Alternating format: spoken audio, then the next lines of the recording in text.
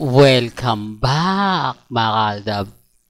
Ito na naman po ang inyong lingkod, si Mr. Destiny.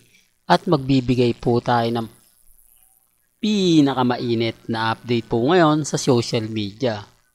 Unahin po muna natin itong Catherine at Alden Richards. Well, pasensya na po kayo kasi trending po talaga ang Hello Love Again. Pero marami po nagkukumbinsi o nakukumbinsi na natin na talagang magkaibigan lang po ngayon sina Alden Richards at Catherine dahil hindi naman po inamin ni Alden na kumbaga nanliligaw siya karelasyon niya, di po ba? Kaya nga sabi ko sa, sa mga nagre-react, hati pa rin po umi opinion ng mga iba.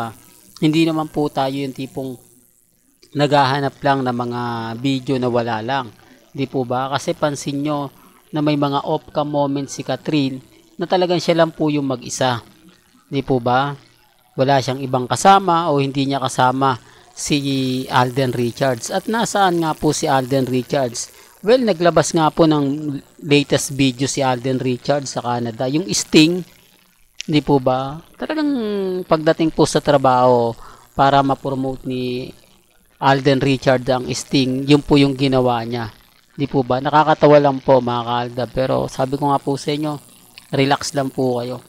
Maging matatag lang at maging kampante. Ako, masaya po ako sa mga nakikita natin masaya po ako sa mga nababasa at napapanood natin. Bagamat maraming senaryo, maraming kwento na lumalabas na keso ganito, keso ganon, po ba? Ako okay lang sa akin yan. Di po ba? Alam nyo naman po na kapag si Mr. Destiny nagbigay ng mga update, 101%.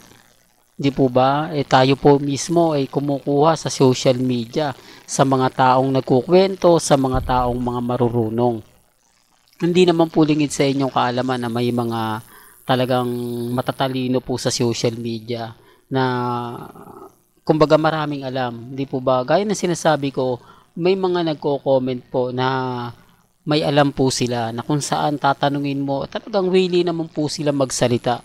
Willing naman po sila mag-react, magkomento sa mga issue. Di po ba?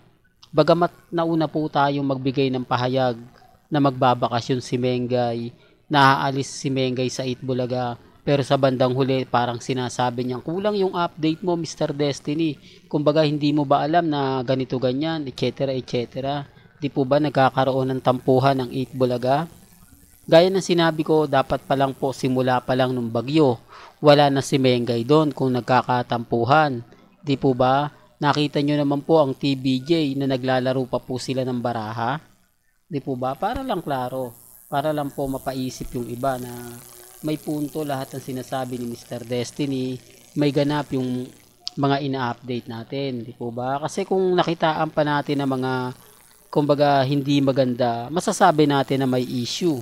Pero wala eh, hindi po ba? Hindi ko nga po alam bakit may biglang kumalat. Tapos mali pa ako, ako pa po yung mali. Hindi po daw tayo updated. Wala naman pong problema doon. Di po ba? Ngayon kung nasa Greece po si Mengay, eh okay lang. Di po ba? Yun naman po yung madalas nilang sinasabi. At least tayo, alam natin kung nasaan si Mengay. Yun lang naman po yung masaya doon. Lalo na po sa Aldab Nation. Kahit po kasi balibalik ta rin nila yung senaryo. Kahit sabihin nila na nandito sa Pilipinas si Mengay, wala naman pong problema. Hindi naman po kami yung tipo na namimilit, di po ba? Hindi naman po ako to pinupush dahil sabi ko nga po sa inyo, wala naman pong maniniwala sa akin eh wala naman pong kakampi kay Mr. Destiny. Maliban lang kung 2019 at 2015 ka. Hanggang 2019, di po ba? Mas papaniwalaan mo.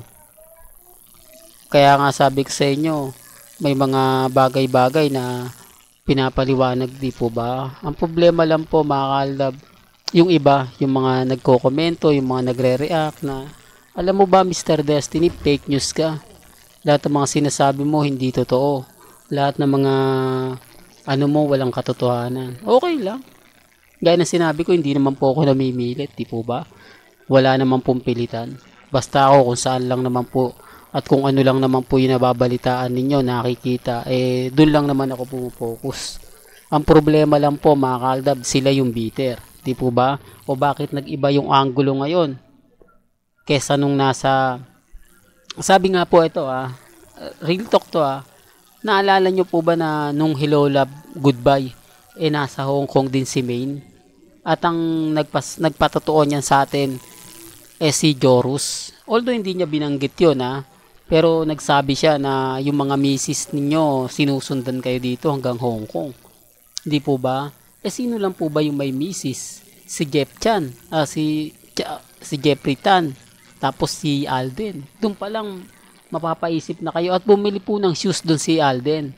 Partner para sa kanyang ano.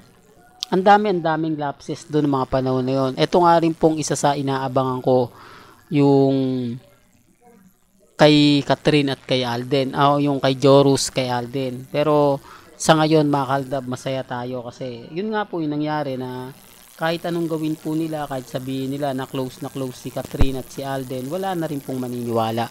Nasa atin pa rin po simpatya. Dahil una sa lahat, tinapos na ni Alden yung mga tanong. Hindi mo na siya po pwedeng questionin pa patungkol nga po sa kanyang relasyon dahil galing naman po mismo sa bibig ni Alden Richards na magpapapresko na lang po siya para malaman kung sino nga po ba talaga yung totoong karelasyon niya. At dito sa mga video natin na nakukuha, madalas nga po na wala si Catherine. Madalas nga po na mag-isa si Catherine. Di po ba?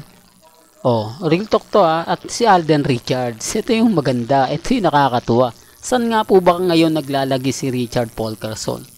Saan nga po ba nag stay sa hotel? Sila Mama Ten, sila Isam, at sina pa Daddy Bay. Pero ang balita ako mga kaldab, didiretso nga po raw to sa Amerika.